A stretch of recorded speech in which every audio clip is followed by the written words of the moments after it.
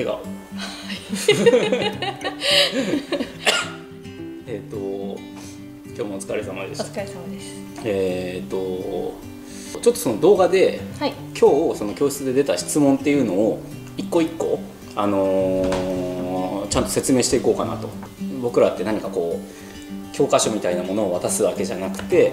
あの生徒さんもいあのね頑張って加工するからメモとか取れないじゃない、まあ、それを後々見れて、えー、とあそういうことだったなっていうのが復習できるようにちょっと取っていこうと思います、はいまあ実際ちょっとこれ編集するかどうかわからないけどとりあえずちょっとやってみようはいはい、という形です。はい。えー、とで、えー、と今日、えー出てきた話で、えー、と天板と、えー、幕板の留め付け方っていうのがありました。覚えてる？はいほんまに？大丈夫です えっとあのーこれが机の天板だとします。で足があって足を4本だけだとえー、と強度がないので通常作り方的にはここに幕板というこういう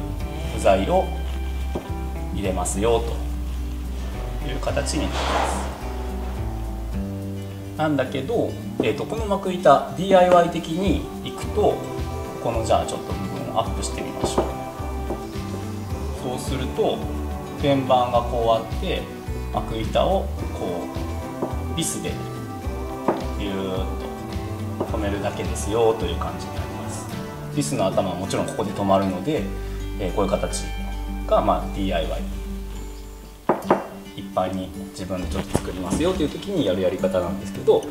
えー、と覚えてる？はい。家具は、えー、とこういうやり方をしませんはいなんでかっていうとはい、えっと火が動くのでうんちょっと穴を大きめの穴を開けておかないとうん、湯がの時にビスが取れたりとかそういうことです。はい。で、例えばテーブルの天板とか大きいこう板っていうのはこう木目があるね。で、こういうものはすごい伸び縮みします。こっちにもこっちにも伸び縮みするという形になるので、例えばここビスでもがっつり止められていると、その幕板っていう木自体が割れてしまったり、それだけ木の力が強いと。えーいうことになりますだからこのビス幕板がこうあってここにビスが入っているとこれが天板がこっち側にこっち側に伸びた時に引っ張られて割れてしまうと、まあ、こっち方向に割れるってことはないけどこの方向で見た時にビスがこう入っていって天板が年輪がまあこう見えていたとしましょうか。そしたらここが伸びた時にバキバキここから割れてしまう。そういうことがあります。だから、えー、と家具をきちんと作る時には幕板に対してこういう留め方。は×、えーとまず頭を埋めてやりたいのでこういう風に入れてやる、えーただしえー、とこのビスを隠すだけじゃなくて遊びを作ってやらないといけない。はいこういう形ですね。はいじゃあ天板がこうあってで、えー、とここが動いた時にこのビスも一緒にこう斜めに動けるような隙間を作っておいて、えーあげないといけないと。これが俗に言うまあ言い方悪いけどバカ穴っていう、えービスの直径、えー、とこのネジの直径よりも大きいものは受けておきましょうねという形になります。はい、でじゃあ、えー、と例えば、まあ、ビスの、えー、とこのネジネジの部分。これが 4mm はい4だったらここはどれぐらいって言ったら、まあ、大体 2mm ぐらいで、えー開けます。あまり開けすぎると今度ここの押さえる部分っていうのがなかなか引っかかってくれないので、えー 4mm にしておきます。あとはこれはビスの頭よりも、えー若干大きいと。ビスが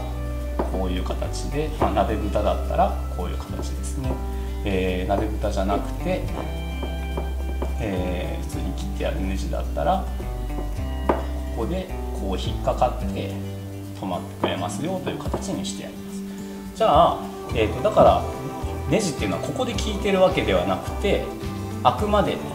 ここの部分とここの部分を引っ張り合って止めてやってやる。でそれが天板が動いた時にこういうふうに動いてくれるというふうにしてやるのが、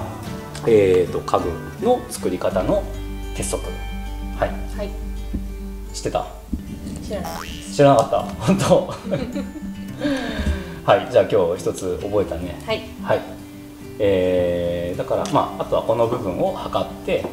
でそれによってドリルがじゃあ 4mm だったら、えー、と 6mm になるしはい、頭の部分は、えーと、10ミリ。あ、えーと、例えば、えー、8ミリの椅子だったら、えーと、10ミリぐらい、はい、にこう2段階に開けてやるというのが、えー、一つの、えー、コツになります。はい、はい、まずは、えー、とその幕板っていうのがありますよと,、えー、とそれを穴を開ける時には2段階にしましょうねという形になります、はい、一つは貫通穴で、えー、そのパカ穴を開けてネジが動きやすくしてやる。っていうことが一つ。それと,、えーと、ビスのその頭を、えー、こうテーブルの下に手を入れた時にあの鉄がその手に触れないように中に埋め込んでやる。っていうことが、えー、家具を作る時には、まあ、無垢の家具を扱う時は特にですね必要になるということで、えー、分かりましたか？はい。はい、OK、良い返事です。はい、はい、ということで、えーと、ちょっと短編をこんな形で、えー、その日あった出来事ということでお伝えしていこうと思いますので、えー、ぜひよろしければ、まあ、今後もご覧ください。はい。ありがとうございました